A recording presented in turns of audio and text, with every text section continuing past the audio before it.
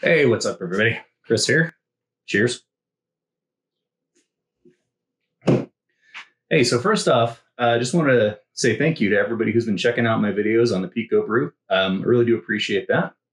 Gotten a lot of nice comments, so thank you again for that. And then I do plan on doing some more videos, um, which is what brings us here today. Um, I actually had a video shot and was in the middle of editing it um, about the fittings I got for my Terminator to hook up to the Pico Brew Z. Um, also, my new uh, brew cart that I've been pushing around the unit on. So I was working on that, and unfortunately, the old uh, Commodore 64 here decided it uh, wasn't going to hack it anymore running Adobe Premiere Rush. So what I did, if you can see right here, is I picked up a big pile of computer parts from Amazon.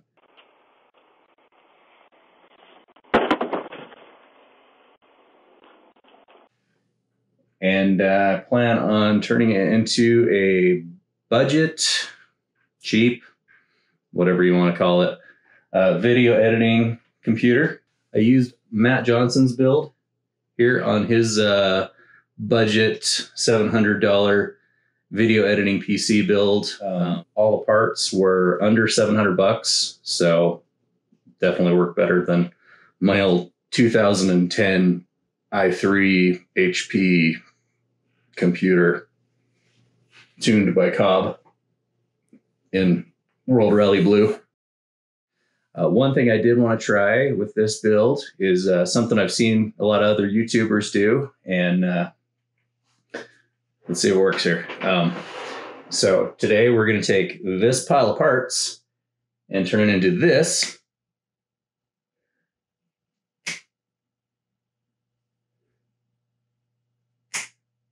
Uh, it's not working.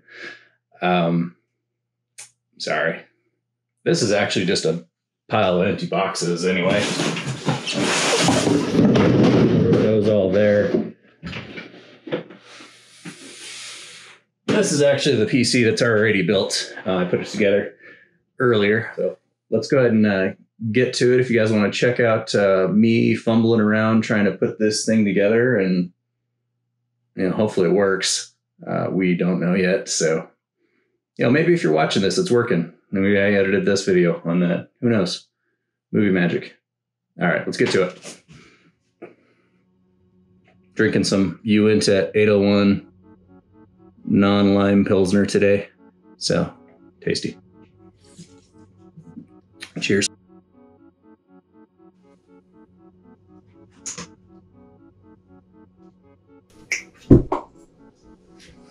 So I went with the uh, the same parts that Matt recommended for his budget build, um, video editing computer. Uh, maybe some slight differences. Um, I picked up this Thermaltake. Um, makes the juice. Power supply, that's the word. He recommended EVGA bronze, 500 watts. Um, he did point out the important parts were 80 plus and a five-year warranty. So that's what I picked up. This Thermaltake one was like $37 on Amazon. All the parts I picked up from Amazon. Um, get in two days. Why not? So there's that. Here, watch that, Sam. The AMD Ryzen 5 2600, uh, 6 core 12 thread. It's the non X version. It was on Amazon for $147, so not too bad there. The motherboard I'm using is this uh, MSI B450A Pro, um, which is the one that Matt recommended for his build.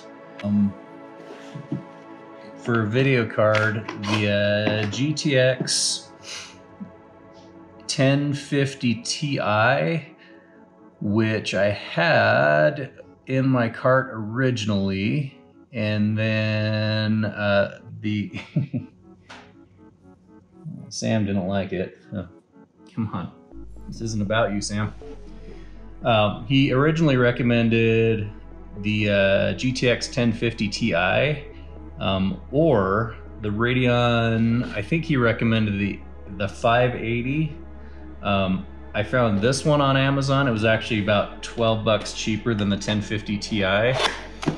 Um, and it is actually a an 8 gigabyte card versus a 4 gigabyte card, like the 1050 Ti I was looking at. It's also a dual fan right here. So, looks cool. Sure it'll do the trick. I think my last computer had like the onboard motherboard graphics or whatever was built in from HP. I don't remember. It worked great for the last nine years. Um, got a 500 gigabyte SSD from Crucial.